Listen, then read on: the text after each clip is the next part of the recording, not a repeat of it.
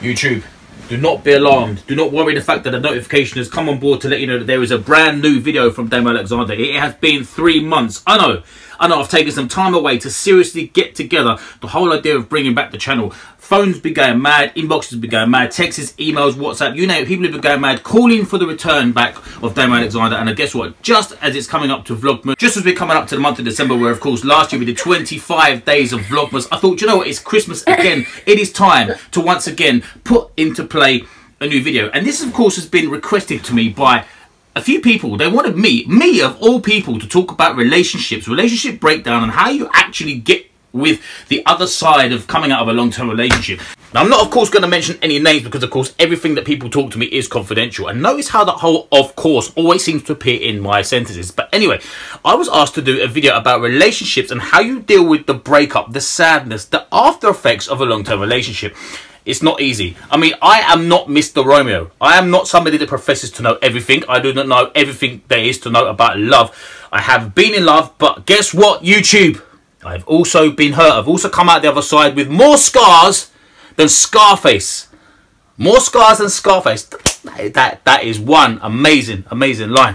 Mr. Al Pacino himself. More scars even than the new Jigsaw movie, which was a pile of crap for any of you out there that's actually going to bother to go and watch it. Now, relationships. How do you move on? How do you get on with your life? You know once you finish this whole characteristic of being with this girl or this boy. And this girl and this boy proper pissed you off annoyed you like just like now you hate each other. Now you've got devil's horns. You you're you're getting voodoo dolls out of the cupboard and sticking pins in each other just to sit there and make them move on to the next part that they're having something bad in their life. And you're hoping the fact that their next boyfriend or next girlfriend crashes their car and dies instantly. That's exactly what you're hoping for a relationship. How do you get past that bit where you don't hate people so much? Do you know what it is you need to find a theme in life. You need to find a topic in life. You need to go about your daily life and think about something other than that relationship that you was actually in.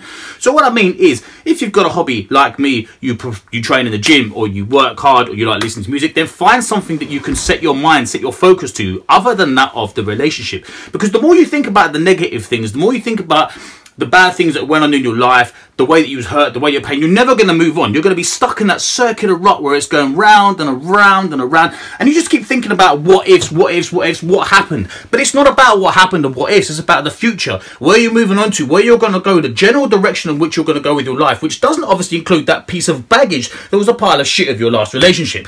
I'm not suggesting any of your boyfriends and girlfriends are a pile of shit, but they're exes for a reason, and you have to remember the reason why they're exes in the first place. Now, to answer the question that was actually set to me last week, Daymo, how do I move on? How do I deal with this? You know, This is affecting me. This is getting right inside me. I've been with this girl. You know, it hurts. Man, it hurts. No one ever said love hurts. The whole big saying love hurts, trust me, it hurts. But you can move on from it. You know, love is an emotion. It's a feeling. It's what goes on within your body. It's it's a physical emotion. It's not a mental emotion. Well, I guess it could be a bit of two. So it's how you deal with the energy that's within your body in order to help you to combat that, in order to help you to move on, to find a better kind of solution to how you deal with it.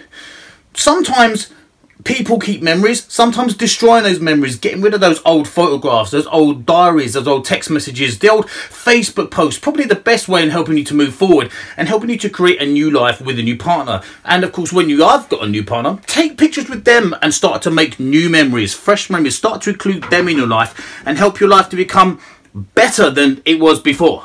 So guys, that was my brand new video back on relationship advice. And how many of you have been so excited to see Daymo's face back again on your YouTube? Are we going to be back for good? Well, we are now recording in 4K. We have a better quality camera and we have come back for today. So quite possibly we may be back with another video soon. If you do, and this is the big question, guys. If you do want to see Daymo back on your YouTube in a more of a regular, comment below in the comment section below. Give it a like, give it a subscribe, and I will be back again soon. I promise you with a new video. Some brand new styles, some brand new scenarios, and of course with the arrival of Vlogmas just around the corner, could we do 25 daily uploads again this year? Who knows? But until then, Daymo signing out for this Sunday on Relationship Advice. Whoever give me this time.